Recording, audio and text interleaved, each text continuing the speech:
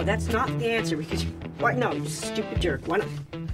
Dumb, dumb, dumb, George Michael. Dumb, Whoa, dumb. whoa, whoa. Calm down, you two. It's just a math problem. Well, yeah, but if I fail math, there goes my chance at a good job and a happy life full of hard work, like you always say. Uh, maybe I'm pushing you too hard. You're all stressed out. Your eyes are all red. Why don't you take the night off? Just shut the book. Go ahead. Just close the book. Go ahead. Your finger is still in the book. George Michael.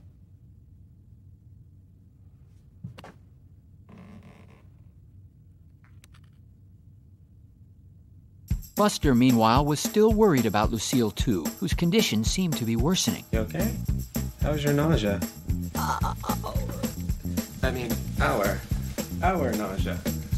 He remembered a study he took part in on medical marijuana and its effects on nausea. The subjects took the drug in the form of a THC pill. Nausea was then induced with a day at the carnival, which is what attracted Buster to the experiment in the first place. Buster was found two days later trying to eat his way through this enormous plaster donut. So Buster went to the toughest, most streetwise kid he knew. Hey, nephew. I was looking for you at your home. Oh yeah, Dad told me to take the day off, so I decided to come into work. Oh. So I thought maybe you could help me get some weed. It's not for me. It's, it's for Lucille, too, my girlfriend. She's your girlfriend? Dad said you were her nurse. Look, she's sick. This could help her.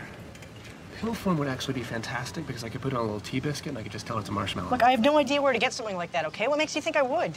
Well, you, you work here. This place is Pot Central, right? In the 70s, the boardwalk was the place to buy marijuana in Newport Beach. The stand served as a convenient meeting place because of the banana's resemblance to a yellow marijuana cigarette.